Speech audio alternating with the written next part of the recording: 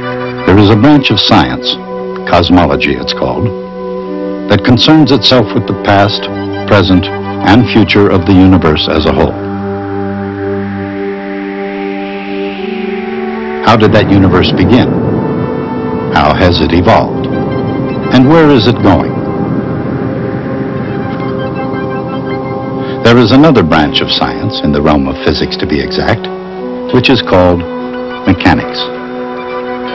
The science of mechanics concerns itself with something not quite as philosophical, perhaps, but no less profound.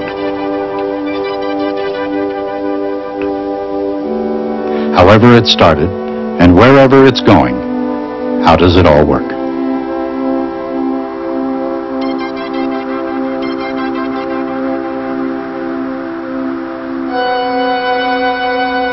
From the smallest particle to the largest cluster of galaxies, what keeps it all going?